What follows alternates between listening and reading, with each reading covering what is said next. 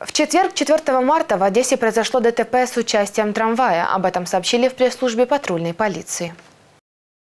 Около 9.30 утра водитель внедорожника «Инфинити» ехал по Люсдорской дороге в районе третьей станции. Он направлялся в сторону площади Толбухина. Автомобиль не уступил дорогу трамваю номер 3 и врезался в него. Столкновение произошло практически лоб в лоб. Из-за этого временно перестали курсировать трамваи номер 3, 13 и 27. В результате дорожно-транспортного происшествия пострадала пассажирка автомобиля. Ей оказали помощь медики скорой. На месте работала следственно-оперативная группа. Они выясняют все обстоятельства обстоятельства трагедии. Многие водители порой нарушают правила дорожного движения. Но соперничать с такой мощной машиной, как трамвай, учитывая габариты и немалый тормозной путь, явно в разы превышающий тот же показатель у современной иномарки, как минимум глупо, а скорее чрезвычайно опасно. И ни зеленая стрелка, разрешающая поворот направо, ни другие доводы не должны мешать автолюбителям предоставлять преимущество движению трамвая.